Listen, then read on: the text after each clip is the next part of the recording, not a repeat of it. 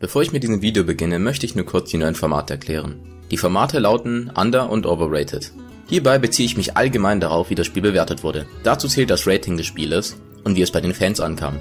Bei dem Format muss es aber nicht immer bedeuten, dass das Spiel direkt underrated ist, sondern es kann natürlich auch trotzdem schlecht sein und damit wäre es dann nicht underrated.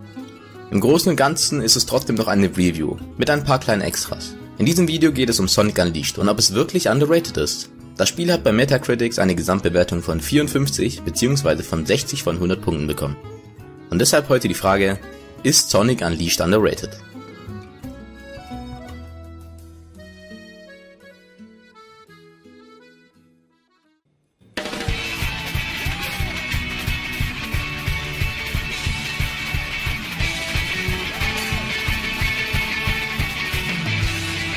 Ich denke, ihr alle habt schon mal von Sonic Unleashed gehört und auch wie schlecht es doch sein soll.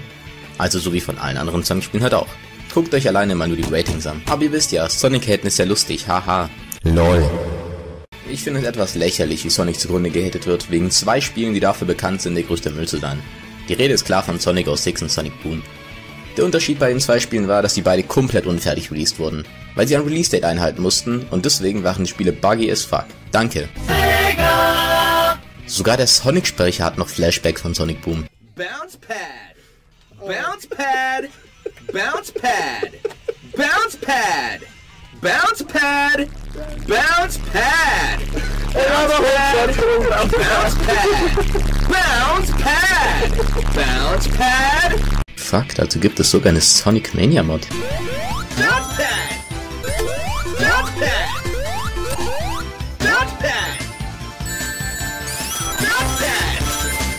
Ich will ja auch gar nicht sagen, dass man das Spiel mögen muss und nicht haten darf. Aber so unbegründeter Hate von Leuten, die das Spiel nicht mal gespielt haben, ist einfach nicht cool. Aber bei Sonic Unleashed hat man eigentlich auch immer nur gehört, dass die Warhawk-Sections langweilig und schlecht sein sollen, oder nicht? Ich meine, habt ihr die IGN-Review gesehen?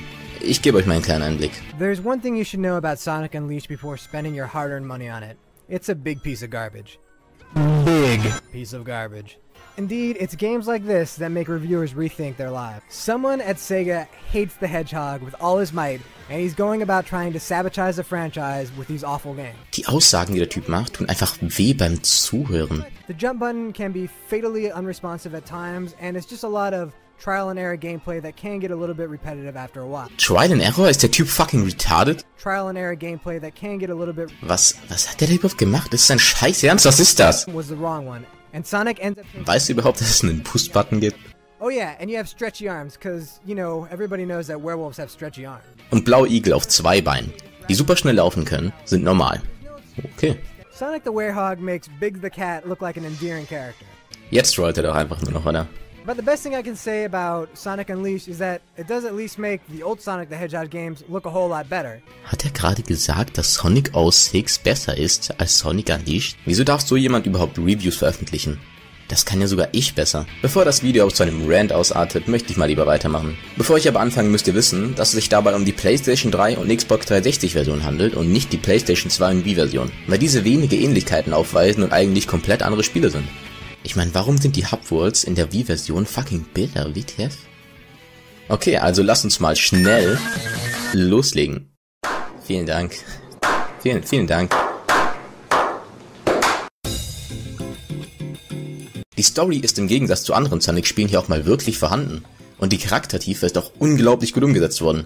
Man kann schon fast sagen, dass die Charaktere gut sind. Wenn ihr das Spiel zum ersten Mal startet, werdet ihr von der unglaublich gut aussehenden Intro-Cutscene geflasht. Alles ist wunderschön, farbig, stimmig, mit vielen Effekten, damit es beim Ansehen auch konstant auf einem hohen Level liegt und nie langweilig wird. Dazu muss man auch sagen, dass die Sonic 06 Cutscenes schon gar nicht schlecht aussahen, aber warum zur Hölle sah alles aus, als wäre es aus jedem Spiel, aber nicht aus Sonic? Das könnte einfach Final Fantasy sein oder so. Warum sieht Eggman einfach aus wie Vin Diesel mit fucking Bart und Brille? Was ist hier eigentlich los? Das alles wurde auf jeden Fall um einiges besser umgesetzt in den Unleashed Cutscenes, wo alles in einem eher unrealistischen Stil gehalten wurde und es trotzdem noch atemberaubend aussieht. Dadurch merkt man einfach, dass die Entwickler viel Mühe reingesteckt haben in die Pre-Rendered Cutscenes, um sie einfach perfekt zu machen. Die Ingame Cutscenes hingegen, naja, ist halt ein PS3-Spiel und ja, sie sind nicht schlecht, aber auch nicht mal alle auf dem Level wie die Pre-Rendered Cutscenes. Um ehrlich zu sein, würde ich mir auch sehr stark wünschen, dass der diesjährige Sonic-Film genauso aussehen würde. Aber bei gehe ich mal nicht mit zu hohen Erwartungen rein. In der Anfang-Cutscene will Sonic die Weltraumbasis von Dr. Eggman zerstören und ihn aufhalten. Natürlich kann er das nicht ungehindert machen und so versucht Dr. Eggman ihn aufzuhalten. Also schickt er ein paar kleine Roboter los und geht dann selber in den Kampf mit einem Mech-Anzug, der genauso aussieht wie der aus dem zweiten Sonic-Teil. Hat schon einmal nicht funktioniert, also lernt er eigentlich nie aus seinen Fehlern? Als Sonic versucht vor Dr. Eggman zu fliehen, wird er von ihm festgehalten. Aber stopp! Sonic hat alle Chaos Emeralds dabei und verwandelt sich in Super Sonic und Eggman versucht zu fliehen. Auf der Jagd nach ihm zerstört er noch Casual ein paar riesige Raumschiffe nebenher.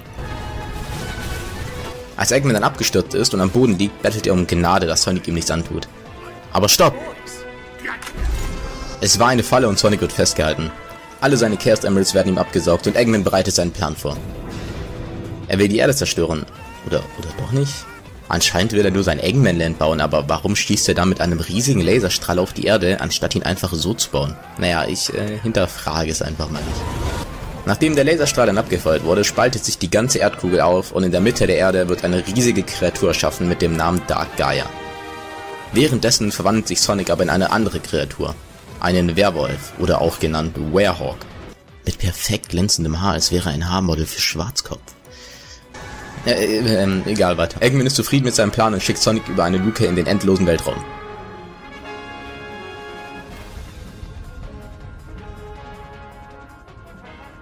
Wie ihr bis hierhin sicherlich schon gemerkt habt, ist die Story ziemlich düster und nicht so freundlich und nett. So wie es auch in Sonic Adventure 2 der Fall war. Nur dass mir die Story hier noch ein Stückchen besser gefällt, obwohl sie schon sehr viele Ähnlichkeiten aufweisen.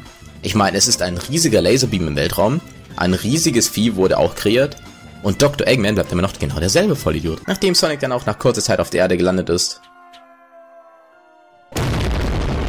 trifft er eine kleine Person. Zuerst fürchtet sich der kleine Mann vor dem Fremden. Und so erfährt Sonic auch das erste Mal, dass er gar nicht er selber ist, sondern sich in eine andere Kreatur verwandelt hat. Als die Sonne dann wieder aufgeht, verwandelt er sich wieder zurück in seine normale Hedgehog-Form und sein kleiner Freund kennt jetzt auch sein eigentliches Aussehen. Und somit startet auch das Tutorial. That was amazing. Wie es Sonic üblich ist, sammelt ihr Ringe, besiegt Feinde und versucht so schnell wie möglich zum Ziel des Levels zu kommen. Bei Sonic Unleashed wurde damals aber das erste Mal das neue Boost-System eingeführt, das auch noch heute in jedem 3D-Sonic-Spiel vorhanden ist. Das war der Ersatz für den damalig immer benutzten Spin Dash, den Sonic hatte. Oder man macht es halt wie in Sonic 06 und lässt einfach alles raus. Hat das Spiel eigentlich irgendwas richtig gemacht? Egal. Bis auf den Boost könnt ihr Sonic typisch einen Homing Attack machen. Springen, sliden und sidesteppen. Leider gibt es ein Riesenproblem mit der Steuerung. Und zwar ist der Homing Attack auf derselben Taste wie der Boost, was dazu führt, dass wenn ihr nicht genau auf den Feind anvisiert habt und dann boostet, fliegt ihr einfach ins endlose Nichts und verreckt.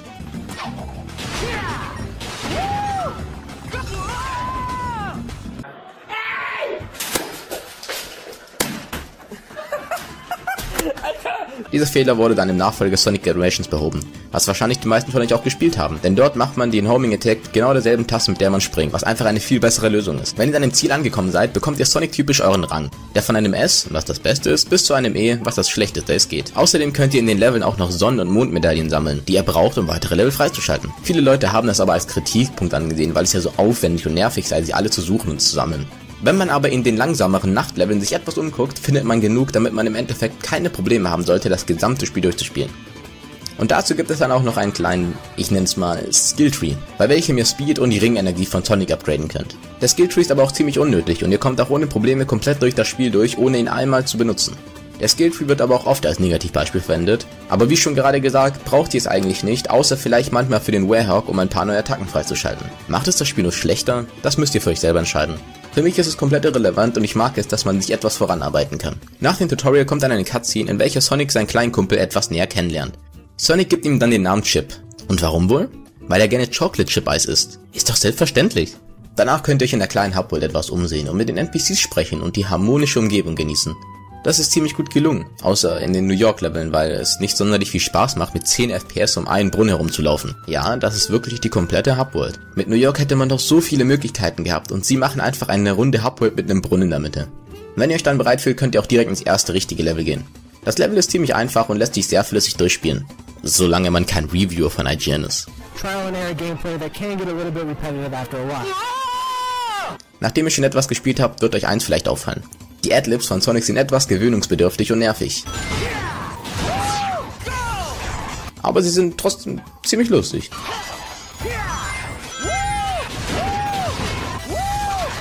Das Level sieht auch grafisch und von der Gestaltung sehr schön aus und alles harmoniert gut zusammen. Aber leider werdet ihr auch direkt den größten Kritikpunkt des Spieles merken.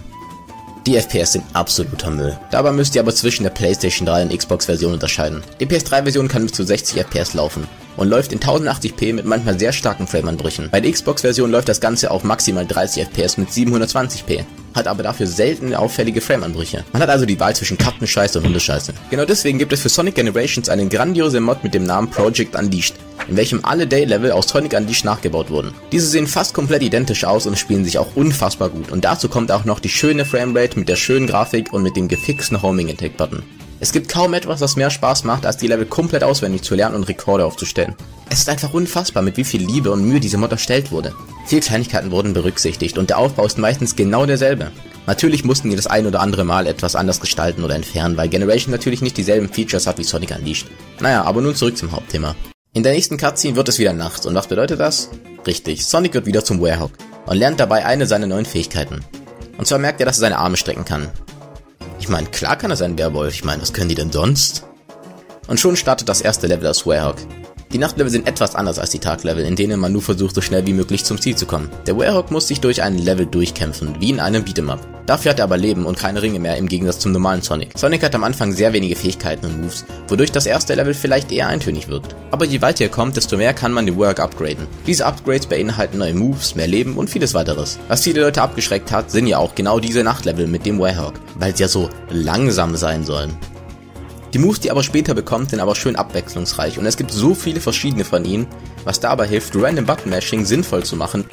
Die Day and Night Stages sind nicht die einzigen Levelarten. Es gibt noch Flugzeuglevel, in welchen ihr nur die richtigen Tasten drücken müsst, wenn dich angezeigt werden, anstatt ihn zum Beispiel selber steuern zu können wie in Sonic Adventure 1. Dort konntet ihr zwar auch nicht komplett frei rumfliegen, hattet aber zumindest etwas mehr Kontrolle und mehr Spaß. Deshalb ist das der mit Abstand langweiligste Part im Spiel und es wäre auch locker ohne diesen Guitar Hero Abklatsch Level mit Flügeln ausgekommen. Ich will aber auch noch auf die einzelnen Level eingehen, weil ich es einfach liebe, wie sie gestaltet wurden. Jede Welt ist auf einem eigenen Erdabschnitt und hat seine eigenen Level, die passend dazu aussehen. Die einzelnen Länder wurden mit sehr viel Liebe zum Detail kreiert. Und das merkt man vor allem an der Umsetzung und dem Zusammenleben von Musik, Einwohnern, Design und vielen weiteren kleinen Dingen. Zum Beispiel hat jede Region eigene Souvenirs, Flaggen und verschiedene Mahlzeiten, die man kaufen kann. Ah ja, und ihr könnt auch noch Chili Dogs kaufen. One chili dog, please.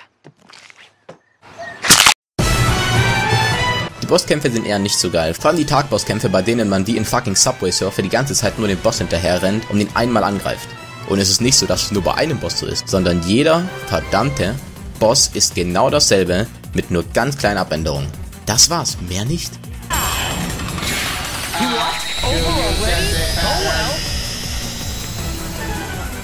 Bei den Bossfights in der Nacht wird es aber etwas abwechslungsreicher und besser. Mein persönlicher Favorit ist der Kampf gegen den Dark Gaia Phoenix. Ich weiß auch nicht genau, warum er mir am liebsten ist. Aber ich mag es einfach, die Scheiße aus ihm rauszuprügeln, weil es sich so anfühlt, als würdet ihr auf ein sehr, sehr weiches Kissen einschlagen.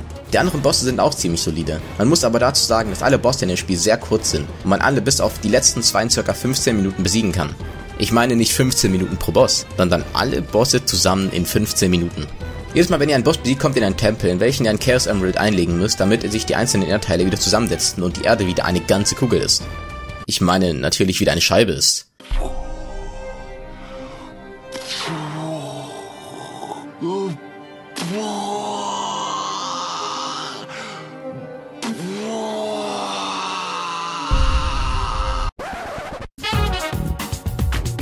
Bevor ich es vergesse, will ich noch einmal die Quicktime-Events erwähnen, die von vielen Leuten kritisiert werden. Es gibt sehr viele davon im Spiel. In Tagleveln, in Nachtleveln, bei Bosskämpfen, mitten im Leveln, bei den Kämpfen in den Warehawk-Leveln und so weiter und so fort. Um ehrlich zu sein, war ich schon immer ein großer Fan von Quicktime Event. Natürlich kann ich das aber nicht von jedem erwarten. Aber zum Beispiel in den Sonic Tag Stages ist es einfach eine perfekte Abfrage der Reaktionszeiten und ob man überhaupt noch bemerkt, dass man noch was tut und nicht einfach nur nach vorne drückt und boostet. Aber alles in allem kommt es, denke ich mal, eher auf die persönliche Meinung dazu an. Weil es einfach auch Leute gibt, die es einfach hassen. Das Spiel hat auch den einen oder anderen Glitch. Ich will hier aber nur die zwei coolsten erwähnen. Einen davon könnt ihr am Tag, den anderen in der Nacht ausführen. Zuerst zu dem Glitch in der Nacht. Wenn ihr die Combo zweimal Viereck und einmal Dreieck macht und direkt danach das Schild aktiviert, könnt ihr einfach durch die Wand hindurchlaufen. Ihr könnt das nicht überall machen, aber es gibt dadurch viele Shortcuts für zum Beispiel Speedrunner. Der nächste Glitch ist ein sehr bekannter Glitch. Dieser heißt M oder D-Speed, je nachdem, ob ihr gerade in einer 2D oder 3D-Section seid. Wenn ihr eine hohe Geschwindigkeit habt und dann springt, dürft ihr nur noch ganz langsam den Stick nach vorne drücken und durchgehend sehr kleine Sprünge machen. Dadurch werdet ihr unglaublich schnell. Das ist ein Glitch, der ziemlich overpowered ist und schwer auszuführen ist. Trotzdem macht es unglaublich viel Spaß, einfach wie ein Irrer durch die Level zu fliegen. Wenn ihr mehr über die Glitches erfahren wollt, guckt euch unbedingt das Video von A Start an, in dem er viele Glitches ausführlich erklärt und zeigt. Das Spiel ist mit insgesamt neun Welten ein ziemlich kurzes Spiel, oder nicht? Und genau deswegen gibt es DLCs. Als ich die Idee hatte, diese Review zu machen, habe ich im PlayStation Network Store DLCs gesehen für das Spiel und war richtig gehypt, weil ich davon noch nie etwas davon gehört hatte. Als ich mir dann erstmal ein Video auf YouTube angucken wollte, bevor ich es mir voreilig kaufte, musste ich feststellen, dass die Level alle designtechnisch einfach aussahen, als wären sie fucking Mario Maker Level. Ich meine, guckt es euch an, die sehen einfach so crappy und unfertig aus. Wäre es nicht viel cooler gewesen, wenn sie neue Regionen auf der Erde hinzugefügt hätten, mit komplett neuen Designs? Meinetwegen auch 10 Euro pro Welt, aber bitte nicht so etwas. Vielleicht machen die Level ja auch Spaß, aber sie sehen einfach für mich aus wie Trial and Error Mario Maker Level. Und dafür ist es mir das Geld einfach nicht wert. Naja, bevor ich aber zum spannenden und gefühlsvollen Ende des Spieles komme, wird Bloody zuerst nochmal auf die grandiose Musik des Spieles eingehen. Oh, ich bin ja schon dran. Hey Leute, Tweet hat mich gefragt, ob ich mal kurz die Musik von Sonic Unleashed anspreche. Naja, und was machen wir jetzt? Der Soundtrack von Sonic Unleashed ist echt ziemlich gut. Die Taglevel sind energiegeladen, funky und überraschenderweise sehr technolastig. Was neu für die Sonic-Reihe ist. Ich meine, davor gab es noch Hardrock-Musik von Crush 40, die meiner Meinung nach genauso abgehen. Aber der etwas elektronische Stil war echt eine nette Abwechslung. Die Nachtlevel sind im Vergleich zu den Tagleveln eher ruhig, was auch Sinn macht, weil das Gameplay da auch noch drastisch verlangsamt wird. Wäre blöd, wenn so Drum-and-Bass-Shit kommt kommt, während äh, man einfach ganz langsam durch ein Level geht. Die Musik in den Nachtleveln haben eine sehr jazzartige Instrumentation, was auch ziemlich gut passt. Nur leider bleiben dafür die Songs nicht so stark im Kopf wie die von den Tagleveln. Denn bei den Tagleveln denke ich mir so, fuck yeah! Und bei den Nachtleveln so, hey, das ist ein cooler Track denke ich. Die Musik sticht in den Tagleveln einfach viel mehr heraus. Ich muss aber sagen, dass ein Aspekt des Soundtracks mich übelst nervt. Und das ist die Kampfmusik in den Nachtleveln. Immer wenn ein Kampf beginnt, startet dieser sehr jazzige Track, der einfach übelst out of place wirkt. Und das Beste ist, dass der Track immer von neu anfängt wenn man in einen neuen Kampf reinkommt. Der Track an sich ändert sich nie. Es kommen nie irgendwie neue Tracks. Es ist immer noch dieser eine Track, der durch diese ganzen Level geht. Und manche dieser Nachtlevel gehen eine halbe Stunde. Und das ist echt anstrengend. Ich hatte schon nach dem ersten Nachtlevel keinen Bock mehr auf das Lied. Und hat sich durchs ganze Spiel gezogen. Aber im Allgemeinen mag ich Sonic Unleashed. Es ist eins der besseren Sonic-Spiele. Die Taglevel sind wirklich extrem gut und genau das, was ich von einem 3D-Sonic eigentlich erwarte. Und ich bin froh, dass sie das System auch ein bisschen übernommen haben in die anderen Teile. Nur ohne die Quicktime-Events, was ich ein bisschen schade finde, weil ich finde, dass das Spiel Quicktime-Events ziemlich gut hinbekommen hat. Leider haben die Nachtlevel das Spiel aber ein bisschen zurückgehalten. Aber mir hat Spaß gemacht, also who gives a shit. Das Ende von Sonic Unleashed ist unglaublich gut gelungen. Das letzte Level in Eggman Land ist ein Level, welches noch einmal all eure Skills, die ihr über das ganze Spiel gelernt habt, auf die Probe stellt. Als ich das Level zum ersten Mal gespielt habe, habe ich unfassbare 50 Minuten gebraucht. Und das liegt nicht an meinen Sonic-Skills, okay? Das Level dauert wirklich mit allen Versuchen, allem drum und dran echt so lange. Das Besondere an dem Level ist, dass es weder ein Day noch ein Night Level ist, sondern ihr spielt beide Sonic-Varianten in einem Level was eine ziemlich gute Idee ist, auch wenn sie nicht perfekt umgesetzt wurde. Weil ihr im Durchschnitt nur 10 bis 20% der Zeit als normaler Sonic das Level beschreitet und 80 bis 90% als Warehawk. Das Komische daran ist, dass ihr nicht wie bei allen anderen Nachtleveln erst alle Feinde besiegen müsst, damit ihr weiter könnt, sondern ihr könnt das ganze Level schaffen, ohne überhaupt einen Feind zu besiegen. ETF? In diesem Level werdet ihr aber sehr viele Leben verlieren, weil das Level unglaublich schwer ist und eigentlich sogar das schwerste Sonic-Level überhaupt ist. Ich habe damals sogar extra für dieses Level Leben farmen müssen, damit ich es überhaupt schaffe, weil es für mich als Zwölfjähriger einfach viel zu schwer war. Am Ende des Levels kämpft ihr, oh Überraschung, noch gegen Dr. Eggman höchstpersönlich in einem Roboanzug.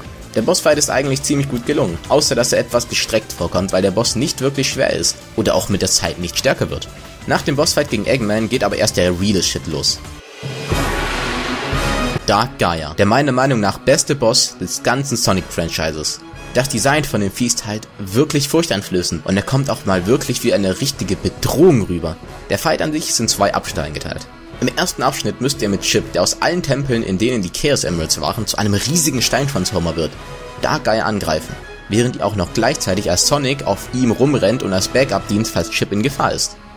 Klingt ziemlich komisch und das ist auch gar nicht so einfach zu verstehen, wenn man es nicht selber gesehen hat.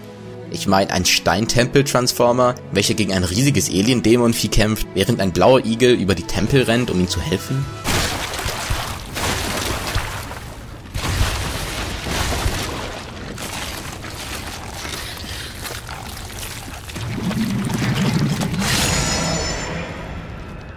Und genau deswegen liebe ich dieses Spiel so. Nachdem Dark Gaia dann in der zweiten Phase ist und zu Perfect Gaia wird, verwandelt sich Sonic mit der Macht aller Chaos Emeralds zu Super Sonic. Und damit beginnt auch der zweite Abschnitt des Bossfights, der etwas spaßiger als der erste ist. Der von einem Orchester gespielte Soundtrack des Spieles gibt dem Bossfight nochmal den extra Kick zur Perfektion. Ihr arbeitet wieder mit Chip zusammen und versucht Perfect Gaia zu besiegen, indem ihr zuerst ein Schild zerstören müsst. Dabei kämpft Chip etwas gegen Dark Gaia, um ihn abzulenken, während ihr seine Arme verletzt, damit das Schild runtergeht. Wenn ihr das geschafft habt, kommt nochmal ein schönes Quicktime-Event.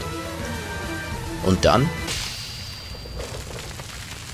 wenn ihr dann Dark Gaia fucking durchlöchert habt, kommt das ziemlich traurige Ende des Spieles. Da Chip nur durch Dark Gaias Power lebt, muss er mit ihm sterben, worauf sich sein Geist langsam auflöst. Der Song im Hintergrund untermalt die Szene perfekt. Das Ende ist zwar tragisch, aber trotzdem perfekt gemacht für ein relativ dunkles Spiel wie dieses. Bevor Chip dann aber für immer verschwindet, hilft der Sonic noch ein allerletztes Mal aus dem Mittelpunkt der Erde zu kommen, während er ohnmächtig ist.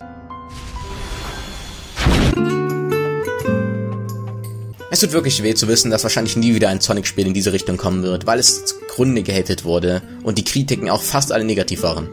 Das Spiel wäre einfach so perfekt gewesen, wenn sie das Spiel jetzt überarbeiten würden, damit die FPS besser laufen, ein paar neue Day-Level hinzufügen und den Homing Attack-Button fixen. Mir fallen ehrlich gesagt keine anderen Punkte ein, die noch ins Spiel einbauen könnten, um es besser zu machen. Und ist euch eigentlich aufgefallen, dass in dem ganzen Spiel nur drei bekannte Sonic-Charaktere vorkamen? Nein? Das ist auch gar nicht schlimm, weil das Spiel das auch gar nicht nötig hatte. Es kam Sonic vor, logischerweise, Tails und Dr. Eggman. Ansonsten kamen nur neue Charaktere vor, die das ganze Spiel zu etwas Besonderem und Abwechslungsreichem gemacht haben.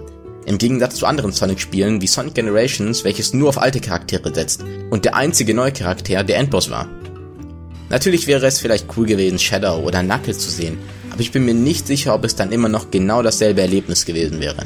Ich habe schon viele Videos auf YouTube gesehen, wo Leute von dem Spiel stark überrascht waren, weil sie es halt noch nie gespielt hatten, aber nur den Hate hörten. Natürlich ist es aber auch kein Problem, wenn man das Spiel gespielt hat und sich seine eigene Meinung gebildet hat.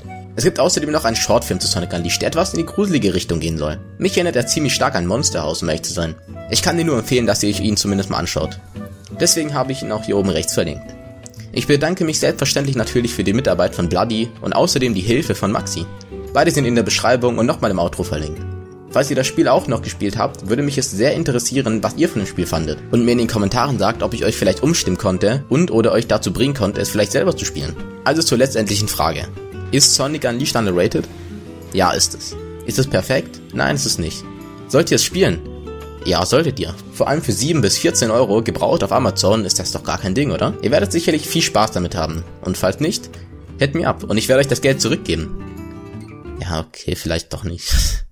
Wenn ihr mehr von dem Format sehen wollt, dann schreibt es mir bitte in die Kommentare. Ich würde mich auch noch sehr über eine Bewertung freuen und ich hoffe, euch hat das Video gefallen.